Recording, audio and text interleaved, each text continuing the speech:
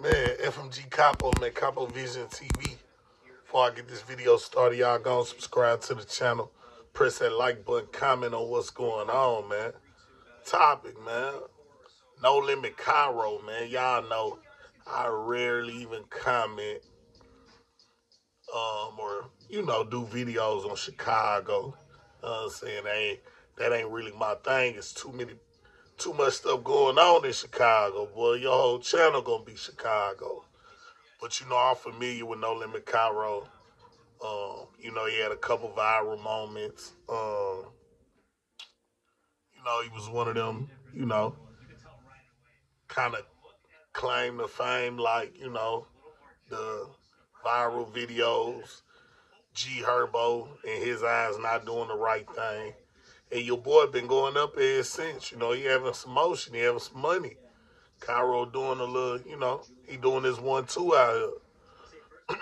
so, you know, reports that came out in No Limit Kyro that got caught with a Glock with a switch in a stolen car.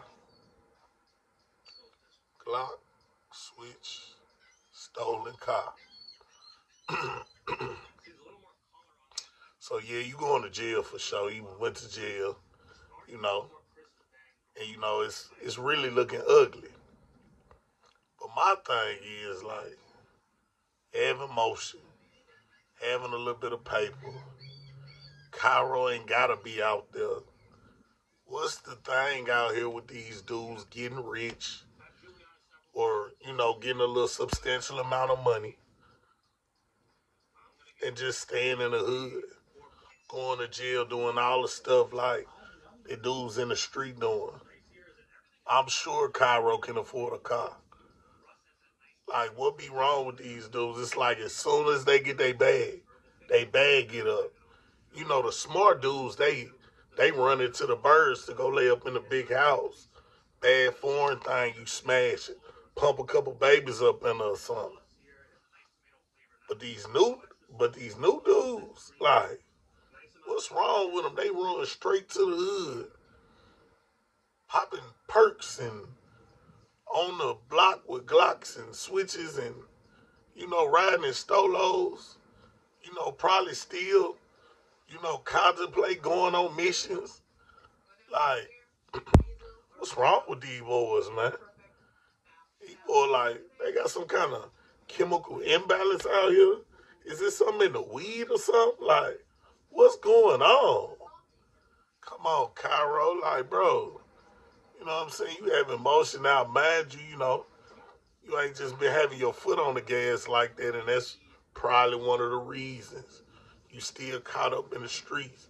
You still too busy trying to keep it real with the bros.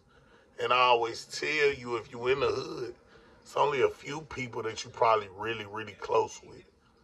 Probably a couple people that really, really like got your back, got your best interests at heart.